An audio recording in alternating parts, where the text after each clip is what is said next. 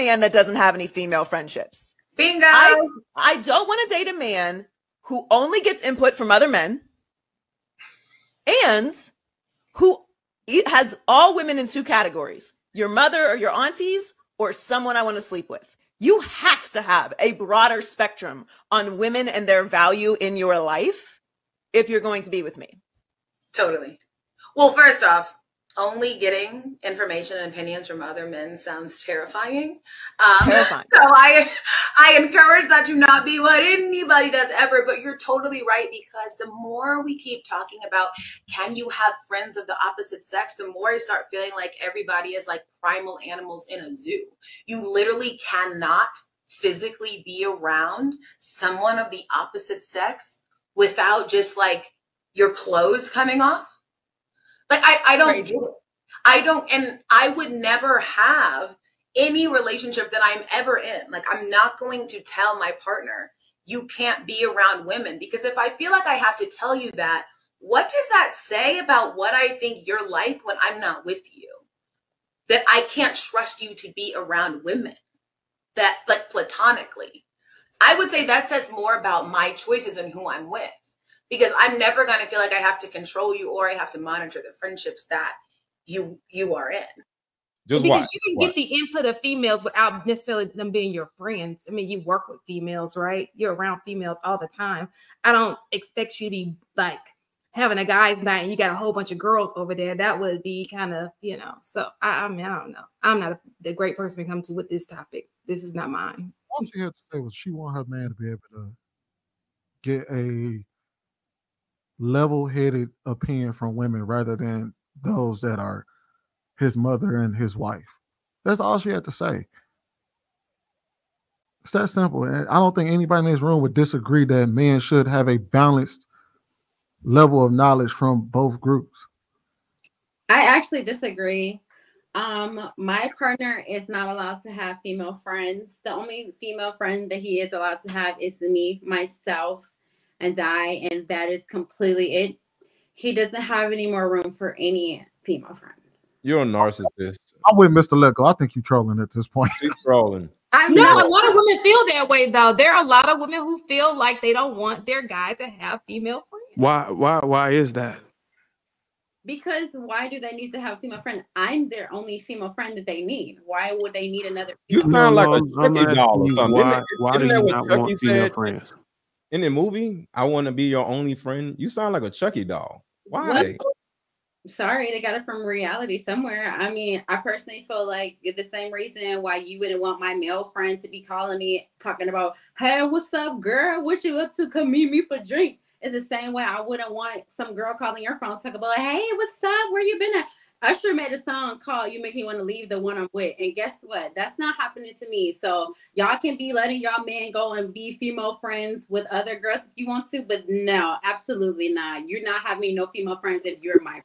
Sorry, you better cut them all off right now. I'll just wait my turn. I'll just be quiet. Ain't that controlling? Go ahead, Ruth. we we we started the show with um being easily manipulated. So when you're like easy going like that, oh, you can have friends, and that that happened to me. Friends and all of that. As soon as we broke up, they was with each other. Okay, she wanted to hear all the tea, and then she got with him, and then it didn't work out the way she thought it would. And from then on, you're not allowed to have any female friends. It's cool. And the men that have a lot of female friends are probably attractive. And what do you think those women want? And if a woman has male friends, what do you think her male friends want? To sleep with her the second she dropped the one she's with. Okay. So they stick, we know men stick around to, you know, get their shot. So my thing is, people with, they are only saying this because they have male friends and they want to feel good about it. So they want their man to have female friends so they don't have that stress and pressure. So the people that don't have friends, I'm not allowed to have friends. I'm not going to have male friends. No new friends, no DMs, no new friends. They stay together. And the people that do have friends, y'all can all have a big orgy together for all I care. Not an orgy. You know, it's crazy because Ruth is actually telling the truth. That's exactly the vibe I got from those ladies was that they a bunch of women who got a lot of male friends, and they sitting here trying to shame the women for these men, uh, for these women not wanting their men to have friends. But how do how do how does how else does a man get a understand? uh, What she say to understand a woman's value? or her worth or whatever without having any. This, You can talk to your parents. You can talk to your sisters, your Your cousins. parents. You don't think your mother would give you an accurate representation of how the woman's perspective? My mother wasn't on social Absolutely media. not, bro. No, Absolutely not, bro. That's my damn Absolutely not, bro. There's so many people that Uh, you can you get want that explain? from. It does not have to be a friend. You better watch Lapeef Let's Talk because that's not happening. Y'all are nuts. Um, I don't think. Nah. Listen, Y'all I need get it. we I get it. Women. I get it. Y'all saying watch Lapeef. Let's talk. I don't think y'all. I we don't. know women. I I'll don't think y'all being completely honest. I don't think the ladies that come on this network are being completely honest because They it's, it's lying. ironic that it's, I have a different take on it. Um, I'm my my husband has two female friends that he grew up with, right?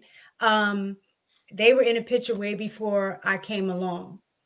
Um, and so for me, I'm I'm of the type that I'm I would never be or you know put someone in a situation where if you had uh you know friends before I came into the picture that I'm gonna come in and be like, oh, you can't be friends with them no more. Oh, you that that just was never my style. However, before we got serious, I had to engage and see what that relationship was like. So that was really so there was never any physical interaction that ever happened between either the friends, you know, that he had. I saw that how integrated they were in terms of their families, things like that. So I took those things into account.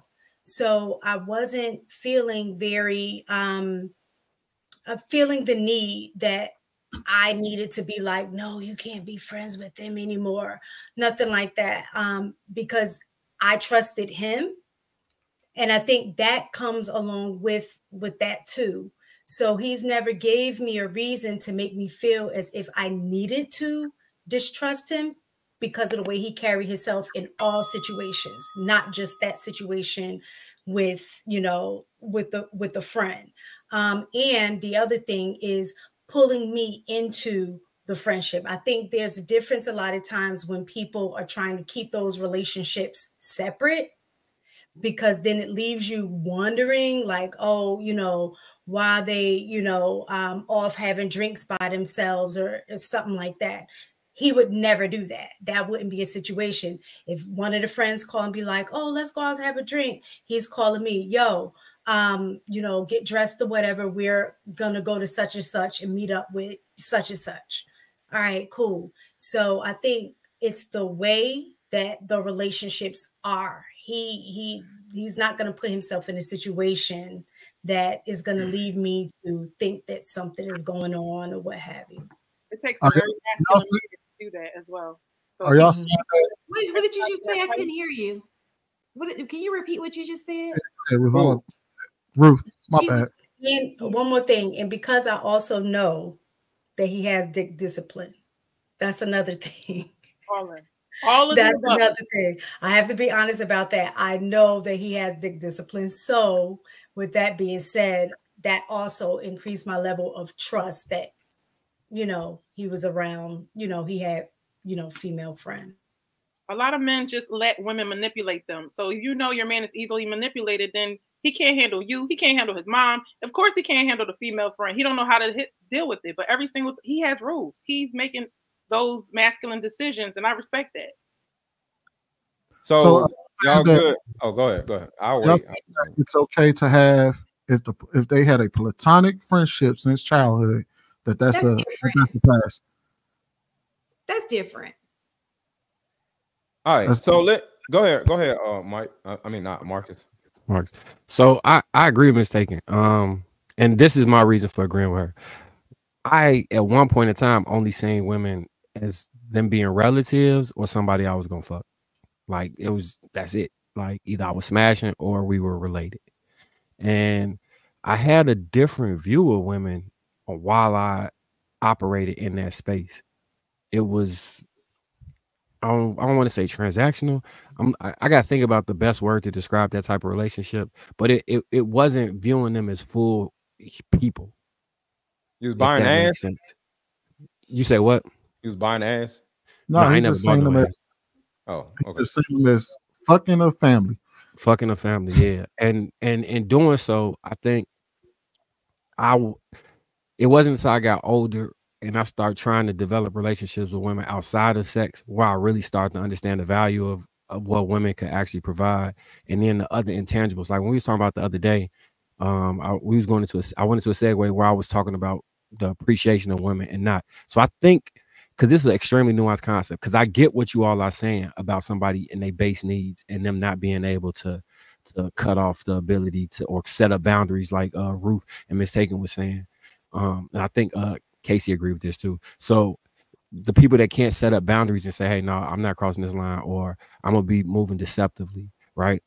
But then I think there's a, a more elevated uh mentality of of of of what to use uh Ruth words of of like affirmative masculinity or uh, a man that's operating like really in a masculine form where those boundaries are concrete. You not worried because you trust how he operates and navigates through this world.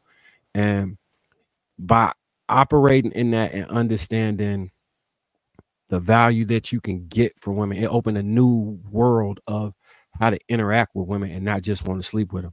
Because I, I literally was not having no other conversations other than trying to figure out how we was gonna get to this.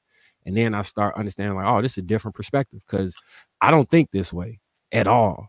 And now I'm starting to see like, okay, from the other side.